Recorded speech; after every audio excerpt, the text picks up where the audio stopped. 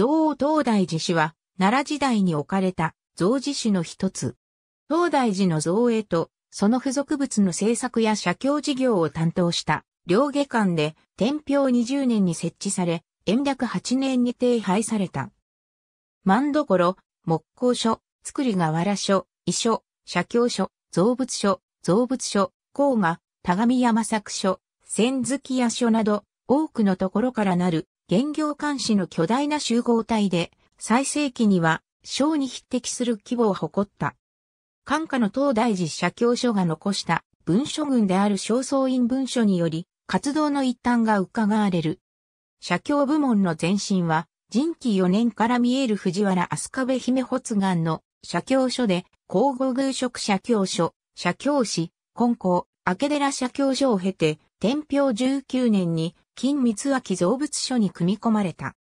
永前部門の前身は、天平16年に所見する根校、明寺造物所で、翌17年の平城関東に伴い、造営場所を平城京都編に移された東大印社名仏像の建立を担当し、今後、明寺造物師と解消している。造王東大寺氏の名前は、天平20年7月24日の東大寺社教書案の末尾に、佐伯今盲人が作り東大寺史事官と見えるのが初見である。天平20年9月7日の造東大寺史会案の署名者の多くが、天平18年11月1日の根校、明寺造物所告げ1日会案の署名者と同じであることより、その前身は、金光脇造物所であることが裏付けられている。根校、明寺造物所の名称は、天平20年7月29日の同書の教示飯文案にも見え、造東大寺市と作り根校、明寺造物所の名前は短期間ではあるが、並存していたことになる。上述の天平20年9月7日の造東大寺司会案によると、最近今盲人が時間となっており、長官の地位にいた市原王の肩書きが現場等で、他の同様の文書でも現場等あるいは知事現場等としか記されていない。例外的に長官と記されたものもあるが、長官の肩書きで署名はしてはいない。このことから設立当初は長官は正式には不在で、次官の佐伯今盲人が実質的な責任者であったことが伺われる。設立当初の首脳部は上記のように長官を欠員として、知事を現場等検備中、守る県社教師長官の市原王が、次官を大和の症状の佐伯今盲人が、造物長官を国君マロがそれぞれ務めるという構成で、両性の量に近いものだった。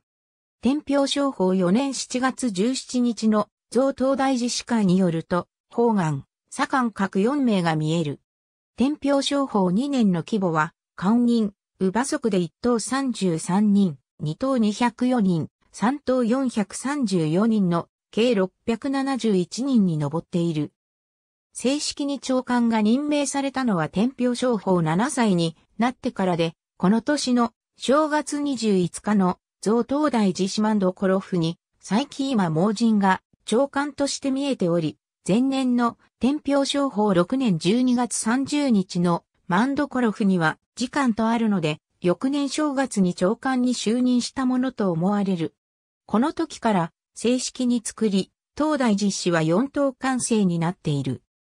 なお、俗に本記には、天平21年4月、東大寺の一等に2回加えた魔物日とあるが、市原王の場合は、天平15年5月の15を下から、天平21年を改元した、天平官平元年4月に15以上に少女しているところから、この専名による女位には預かっていないことがわかる。次官の佐伯今盲人は、単浦古文書第34号、内包裏文書によると、21年4月1日特樹6回とあり、同年の2回かの部によって17以上から一気に正6以上になり、さらに、初期によると、同年元年12月には15位下に少女されている。このことから、東大寺造営について、最近今盲人の手腕と功績が大きく認められていることが知られている。また、方眼以下の官人の少女については、不明なところが多いが、単裏古文書第57号内包裏文書及び、同第39号前、包括紙紐裏文書によると、頂上ロムシマロはこの時に2回少女され、18以上から小8以上になっている。また、同第43号裏文書では、贈東大寺氏の官人で、右京の人が同日に18以上から2回少女されている。以上のように、鮮明に言う、二回型魔物が確実に実施されていることがわかり、他の作り、東大寺氏の官人も同様であったことが推察される。翌天平商法2年正月に、贈東大寺の官人以下馬足の一等33人にくらい3回を除す。二等204人に2回。三等434人に1回ともあり、東大寺造営に従事する官人らに対して、功績により同じようなことが行われたようである。天平法治6年頃から作り、東大寺市の規模は拡大し、気候も福草化してゆく。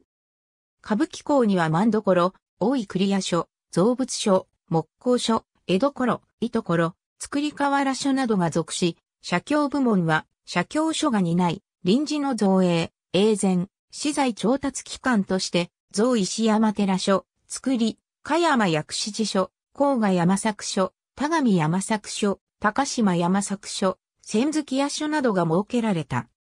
これらの書には、左官、文雄、舎人がそれぞれ別当、暗守、領として事務を干渉しており、永前部門では、技術官の雑工が配備され、匠邸、雇い校を指揮し、社教所には、教授、僧、工場などが所属している。